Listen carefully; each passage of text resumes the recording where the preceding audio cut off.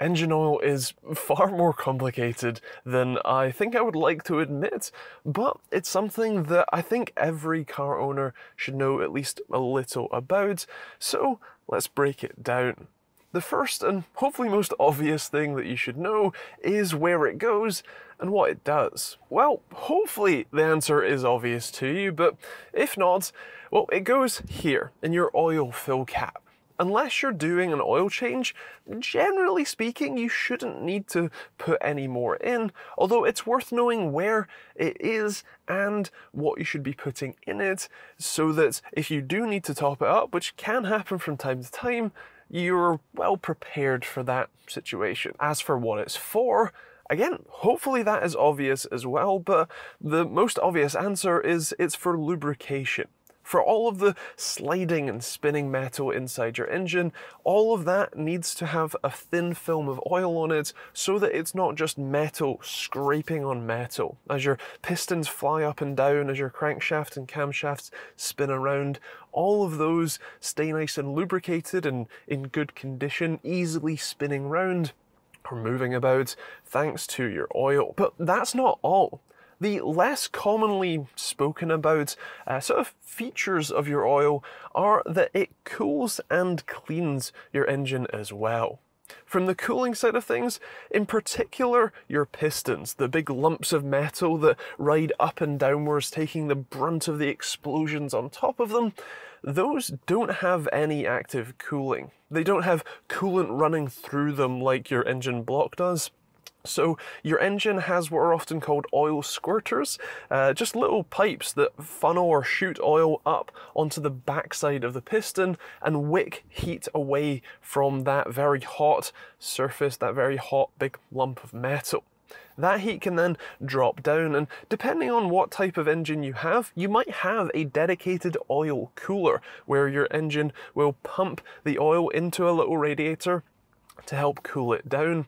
You'll often have transmission oil coolers as well, although it's important to note that transmission oil and engine oil are normally two very different things. On top of that, your oil is designed to clean your engine. It's designed to pick up any of the tiny little bits of you know, single atoms of metal that get you know scraped off just over time, get worn away, or the little bits of, of soot and debris from the combustion process as well. All of that gets captured in the oil instead of it getting captured in your, say, bearing surfaces and ripping them all to shreds. So that's where it goes and what it does, but when you walk into any you know car parts, auto parts shop, you'll notice that there's like a hundred different options for your different oils.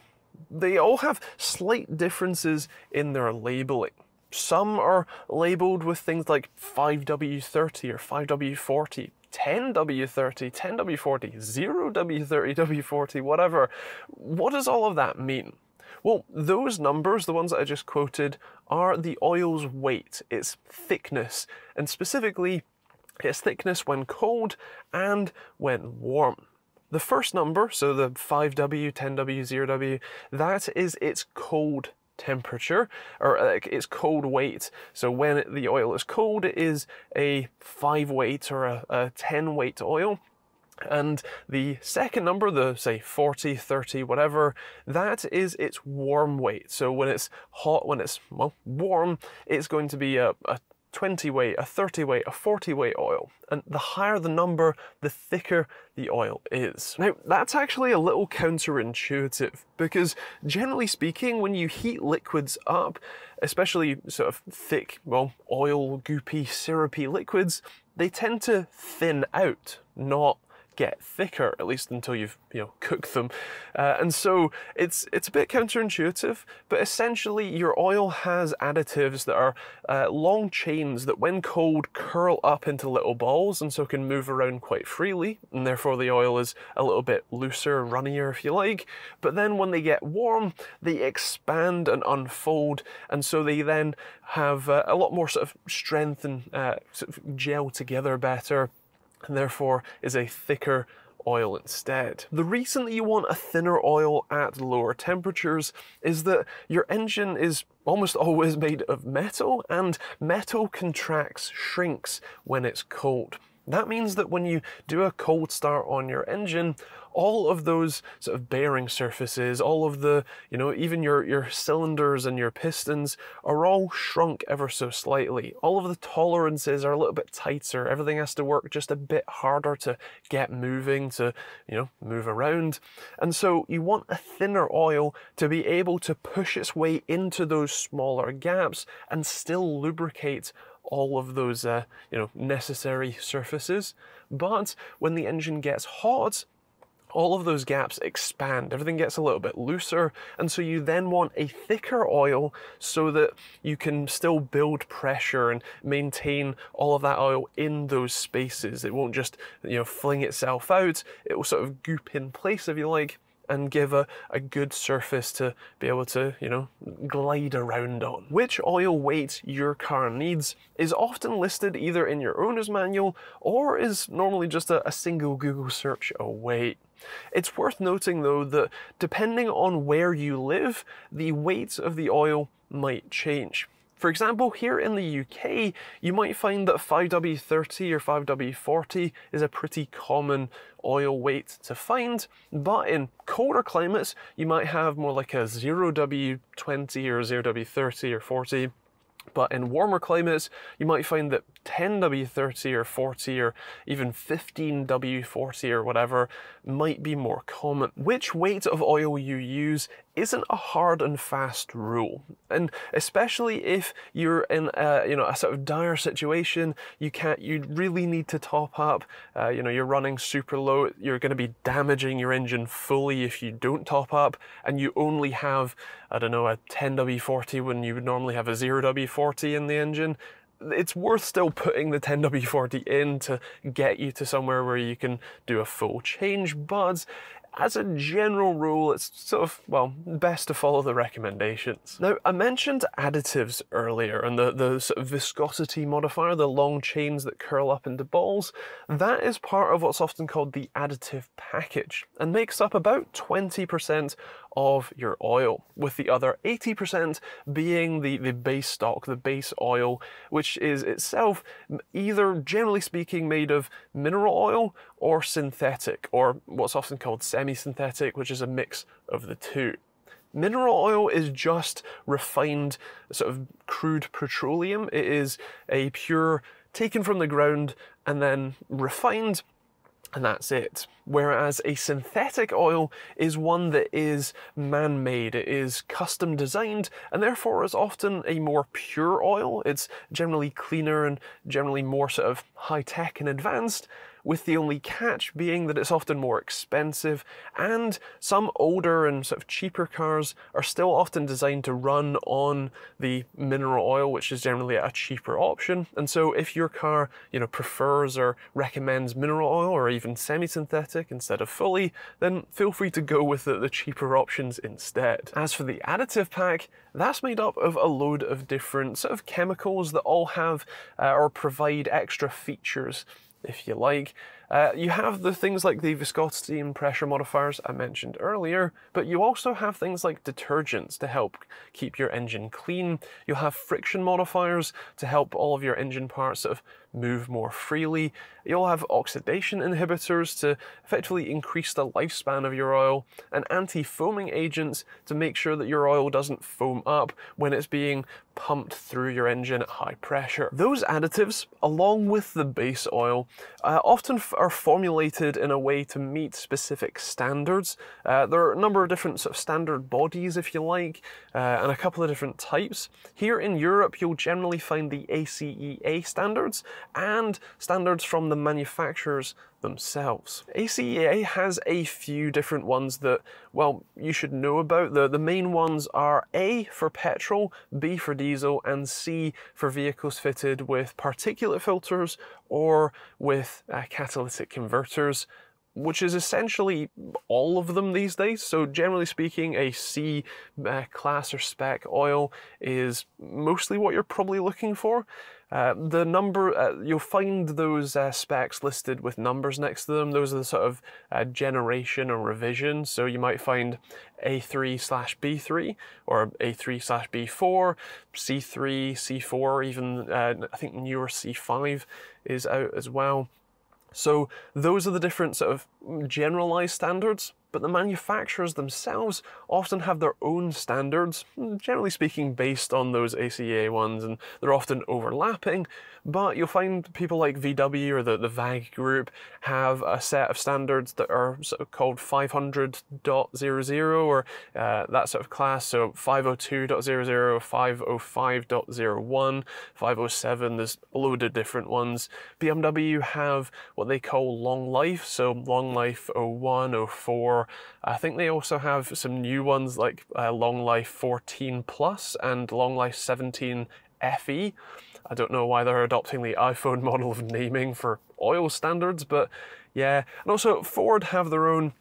Uh, they are horrendous, so I'll just stick a couple on the screen and you can uh, have a read of them. But uh, yeah, most manufacturers do have their own standards for their own engines, uh, especially if they are the engine manufacturer rather than buying it from someone else. And uh, like I said, they're mostly based on those ACEA standards or very similar to each other. Okay, so you know what spec oil you need, so you can walk into the, the shop and uh, be confident in your decision of which oil is right for. Oh, there's like there's like 20 different manufacturers or brands of all selling the same weight and spec. Which one of those do you buy? Well, that's uh, kind of, it can be complicated. It can also be quite simple. If you don't really care too much, if you don't have a, a particularly high performance engine and you're not one of the um, very, very vocal oil snobs, then generally speaking, as with most uh, car garages, you can pretty much pick anything that meets the standard and kind of call it a day. Now, I realise that that statement is probably going to upset quite a few people, so let me clarify. If you do have a, a high performance engine, one that is particularly uh, sort of difficult with things like oil consumption, or you are particularly caring of your car and you want to make sure that it has the, the best life possible, then there are potentially some differences between the brands. In theory, if an oil meets the correct weight and spec. So things like if you have a, a, BMW and you you know your engine requires a long life 14 plus oil, and you're buying an oil that is listed at the right weight and a, 14, a long life 14 plus oil, then you should be fine. But the different brands often have slightly different formulations of those additives and can often add extra features on top of the required ones in the, the spec, as it were. Things like a brand like Liqui Moly, a one that I uh, personally relatively like and use myself, offer things like molybdenum based oils or uh, oils with molybdenum disulfide additive, which is a great sort of uh, low friction modifier. That is uh, something you might want to look out for compared to, say, a, a Castrol Edge that might not have that as, a, as an added feature. Some engines can also be relatively picky.